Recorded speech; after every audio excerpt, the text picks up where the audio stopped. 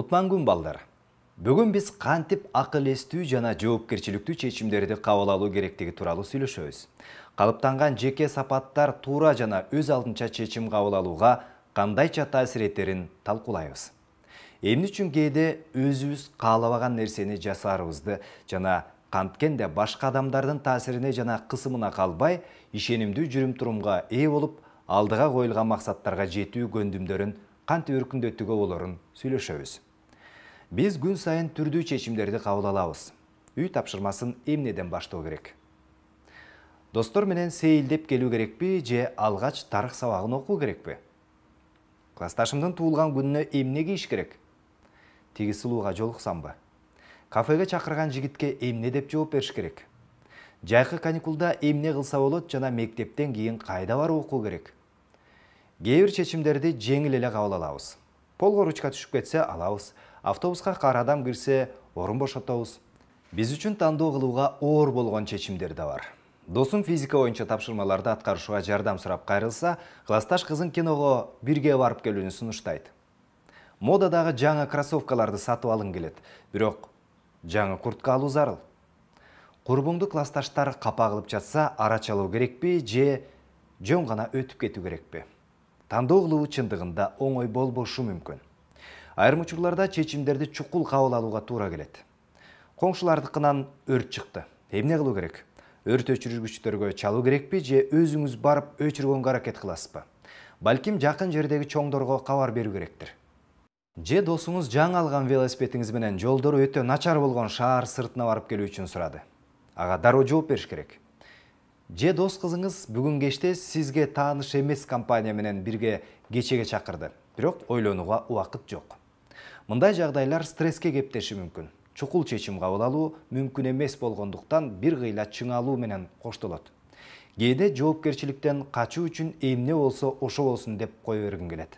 Же биз үчүн башка бирөө чечим кабыл алса дейсиң бирок мындай баш тартуу дагы чечим болуп саналат. Кээде ата энелер балдар үчүн бир нерсени чечип коюшу мүмкүн бүгүн курбуңдукуна барбайсың. Сабактарың өтө көп. Биз бул көйнөктү сатып албайбыз. Ал сага жарашпайт сен али эч нерсе түшүнө элексиң.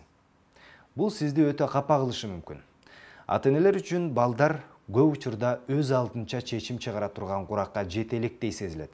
Бирок жакшысы ата энелер балдары жоопкерчиликтүү чечим чыгараларын канчалык эртерээк билишсе алар үчүн ошончолук эртерээк чечим кабыл алууну токтотушат. Келгиле талдап көрөлүчү ал эми адамдар негизинен кантип чечим кабыл алышат алар көптөгөн факторлордон көз каранды биринчиден бул адамдын муктаждыктары каалоолору жана баалуулуктары. Эмнени каалайбыз? Эмнени жактырабыз жана эмнени бааларыбызды билүү маанилүү? Экинчиден бул адамдардын мүмкүнчүлүктөрү. Биздин билимибиз жөндөмүбүз жана тажрыйбабыз. Ошондой эле бул тышкы факторлор. Башкалардын күтүүлөрү жана биздин иш аракеттерибизге болгон реакциясы. Буга чечимибизди ишке ашырууга жардам берген же тоскоол болгон жагдайлар дагы кирет. Чечим кабыл алууда биз эң оптималдуу жол менен максатка жетүүгө аракет кылабыз. Бул процесске адамдын ой жүгүртүүсү эмоциясы мүнөзү жана мотивациясы да катышат. Ой жүгүртүүнүн жардамы менен биз кырдаалды жана анын мүмкүн болгон кесепеттерин баалайбыз. Мындай кырдаалда эмне кылуу керектигин ойлонуп иш аракетибиз кайда алып барарын жана башкалар аларга кандай мамиле кыларын аңдоого аракет кылабыз? Элестеткиле эртең текшерүү иши. Ал эми дос кызыңыз же дос балаңыз ага даяр эмес жана даярданууга убакыт өтө аз. Аларга кандай кеңеш берсе болот? Биринчи вариант. Эч нерсе кылба эптеп бир жолун таап жазып коесуң да. Экинчи вариант. Жок дегенде бир нерсени кайталап айрым бөлүгүн аткаруу үчүн окуп чык. Үчүнчү вариант. Текшерүү ишине барбай кой. Даярданып алып башка жолу тапшырасың. Кеңеш берерден мурда ар биринин кесепети кандай болушу мүмкүн экендигин ойлонуп жазып алыңыз.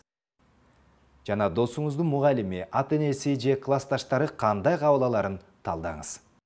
Сезимдер жана маанайлар биздин чечимибизге өтө күчтүү таасир этет. Эгерде биз аябай капа болуп турсак кызыктуу жана каалаган нерседен оңой эле баш тарта алабыз. Анан өкүнүп ал үчүн өзүбүздү жемелейбиз достор же ата энелер менен урушсак аларды капа кылчу сөз айтып өтүнүчүн четке кагып же эрегишип бир нерсе жасайбыз. Ал эми жакшы маанайда оор чечимдер да тез жана жеңилирээк кабыл алынат. Баса бул чечимдер көп учурда ийгиликтүү болот. Кээ бир адамдар өз табиятынан тез чечим кабыл алышат. Адатта алар өзүлөрүнө ишенишет бат ой жүгүртүп көпкө ойлонгонду жактырышпайт ал эми башкалар бир нерсе чечип тандоо жасаганды таптакыр жактырышпайт. Бул алар үчүн оор жана кыйноо. Бизге эмнелер керек экендигин билип аны чыны менен кааласак чечимдер тезирээк кабыл алынарын байкагандырсыз.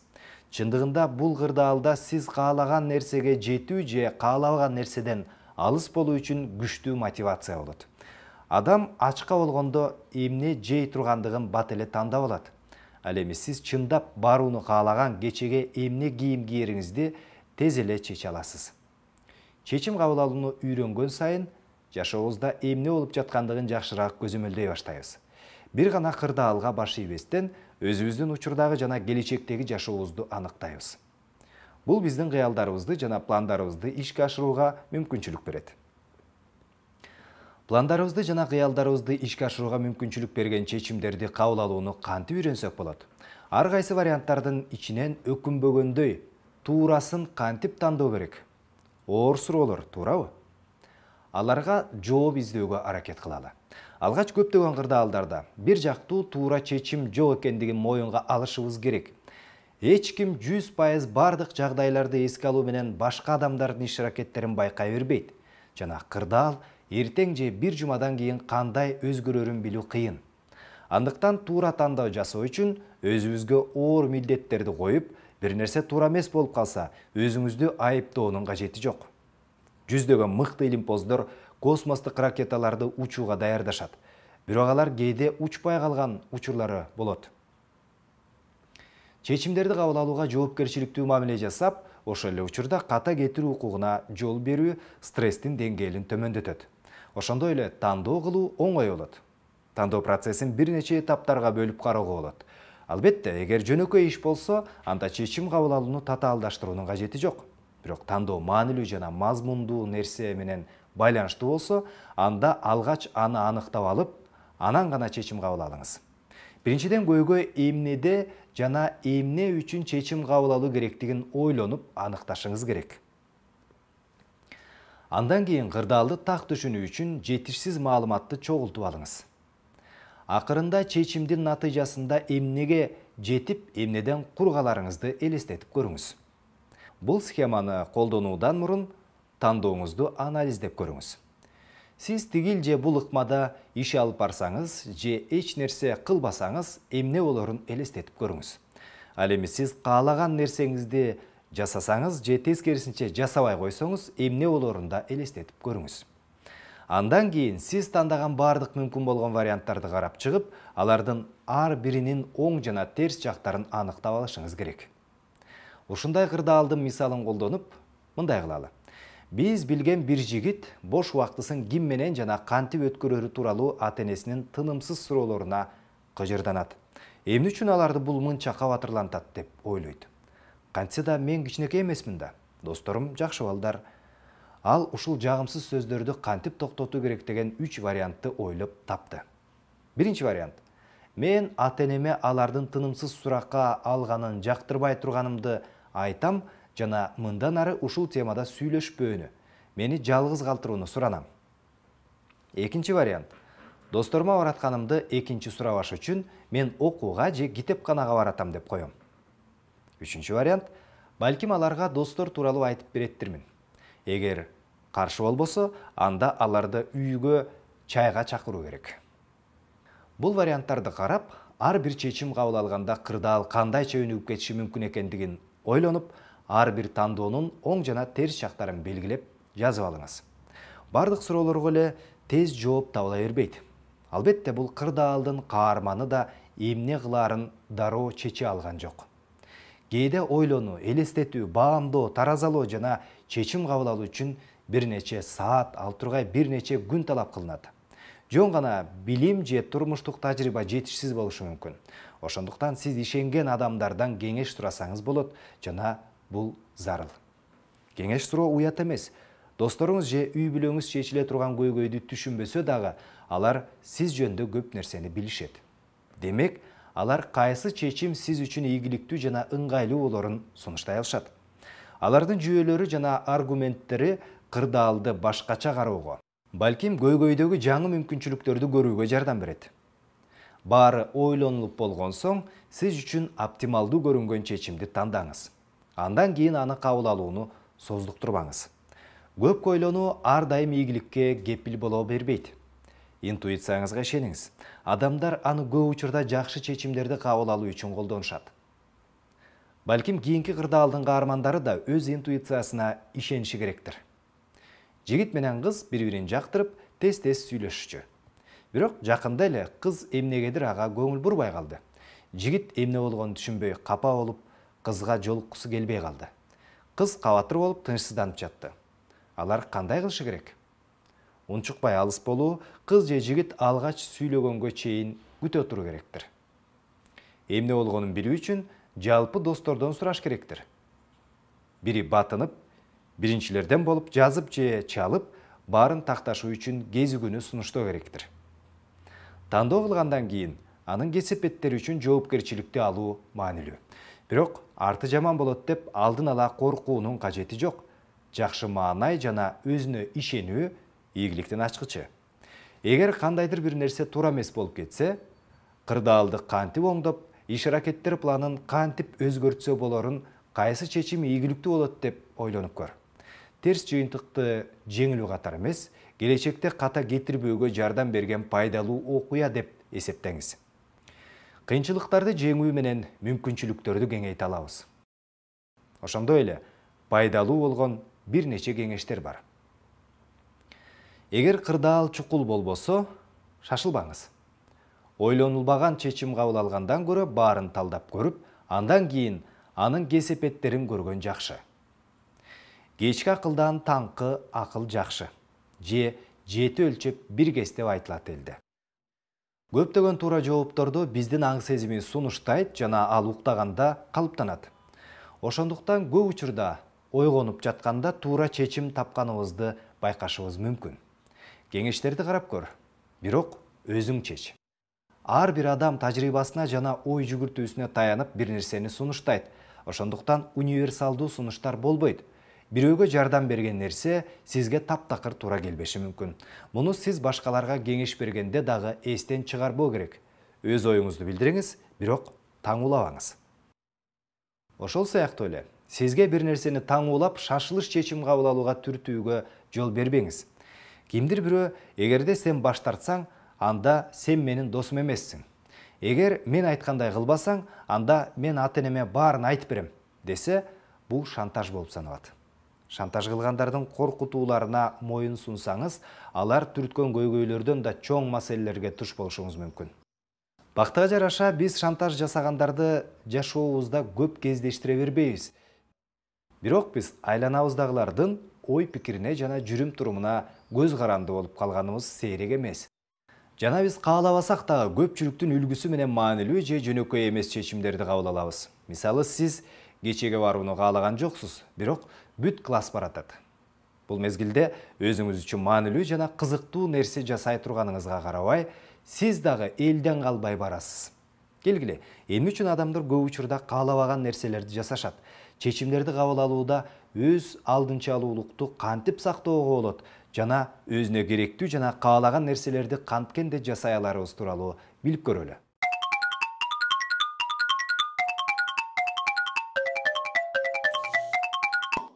Лиза 14 жашка келгенде анын классында кулакта тешиктин болуусу модада болчу. Ал эми 18 жашка толгондо баардыгы татуировка жасоого өтүштү лиза 11 классты бүткөн соң курбу кызы менен эле бирге болуу үчүн педагогикалык окуу жайга тапшырды эми мынтип жашы 25 келгенде гана лиза каржы менен алектенгиси келгендигин түшүндү бирок эбегейсиз чоң татуировка бүтөлгүсү келбеген кулак тешиги жана жөн гана текке кеткен 5 жыл. Эмне үчүн лиза досторунун ою менен болуп өз убагында туура чечимдерди кабыл ала алган жок бул алгач сезилгендей оңой олтоң иш эмес адам төрөлгөн күндөн тартып үй бүлө бала бакча мектеп класс андан соң кечки эс алуулар кесиптештер сыяктуу кандайдыр бир топторго кирет көпчүлүктөн бөлүнүү дайым эле оңойго турбайт кээде окшош аракеттерди жасаган кичинекей топта коомдун калган бөлүгүн өз артынан ээрчитип кете алат калган адамдар ошондой аракеттене башташат бир жолу мындай эксперимент өткөзүлгөн анда абдан чоң залга көптөгөн адамдарды акырын чакырышып анын токсон беш пайызына зал ичинде каалагандай жайгашкыла дешет. Ал эми беш пайызына алгач оңго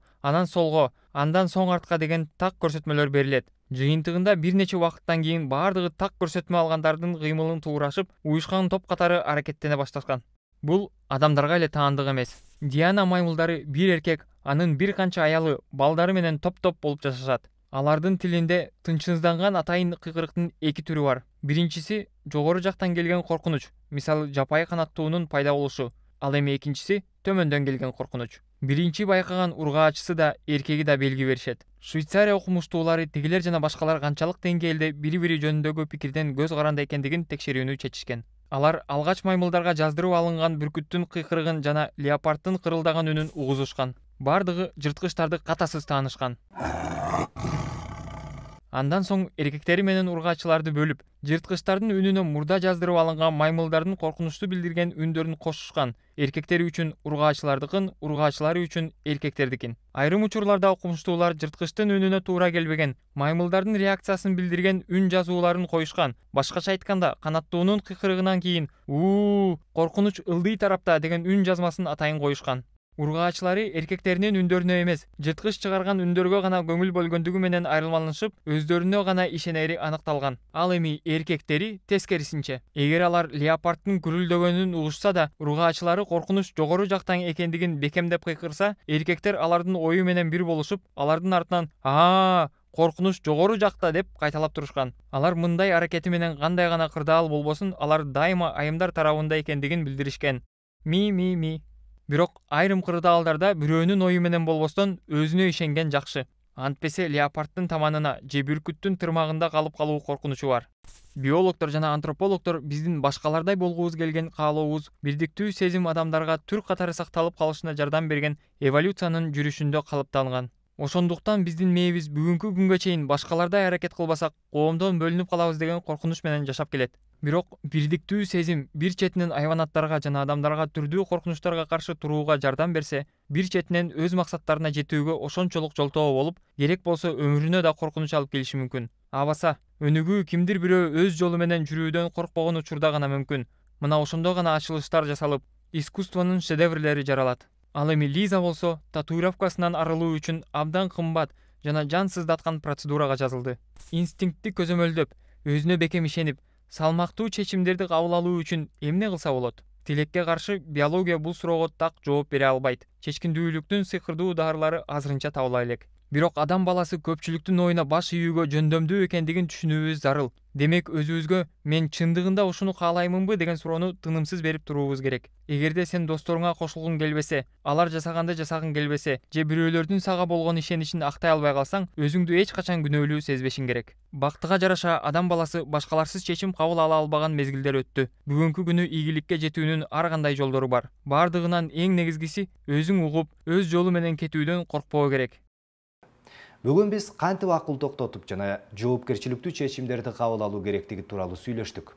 Эмне үчүн адамдар кээде чындыгында жасагысы келбеген иштерге барат? Көпчүлүктүн жетегинде болбой көз карандысыз чечимдерди кабыл алуу үчүн адамдар өз табиятынан башкалардай иш аракет кылаарын унутпаш керек. Бул касиетибиздин түрү катары жашообузду камсыз кылуу үчүн колдонулган. Бирок бул өзүбүздүн пландарыбызды жана кыялдарыбызды ишке ашырууга тоскоол болушу мүмкүн ошондуктан көп учурда өзүңүзгө мен чын эле ушуну каалаймынбы деп башкалар менен компания үчүн чогуу бир нерсе жасоодон мурда өзүңүздү угуп өзүңүзгө ишениңиз. Өз алдынча болуп өз жолуңуз менен кетүүдөн коркпоңуз. Кырдаалды талдоо менен чечим кабыл алуу жөнүндө бүгүн билгендериңерди колдонууга аракет кылыңыз. Эки дос ишемби күнү кечинде велосипед тебүүгө макулдашты. Бирок алардын бири акыркы мүнөттөрдө бутун кокустатып алганына байланыштуу бара албасы тууралуу жеке билдирүү жөнөтүп кечеге кетип калат. Досу кокустан бул жөнүндө билип калып аябай капа болот. Биринчи досу кандай кылышы керек эле? Кечеге баргысы келгенин бирок досун таарынтып албаш үчүн чындыкты айтуудан коркконун ачык айтуу керек. Макулдашкан боюнча досу менен велосипед тебүүгө барышы керек. Эгер велосипед тепкиңиз келбей атса анда бул тууралуу досуңузга айтып эч кайда барбаңыз. Ар бир варианттын оң жана терс жактары кандай? Ар бир варианттын кыска жана узак мөөнөттүү кесепеттери кандай? Достордун ордунда болсоңуз кандай чечим кабыл алат элеңиз досторуңуз жана классташтарыңыз менен варианттарды талкуулап ар бир чечимди оң жана терс жактарын кырдаалга жараша салыштырып көрүңүз. А мен силерге ийгилик каалайм. Саламатта калыңыздар.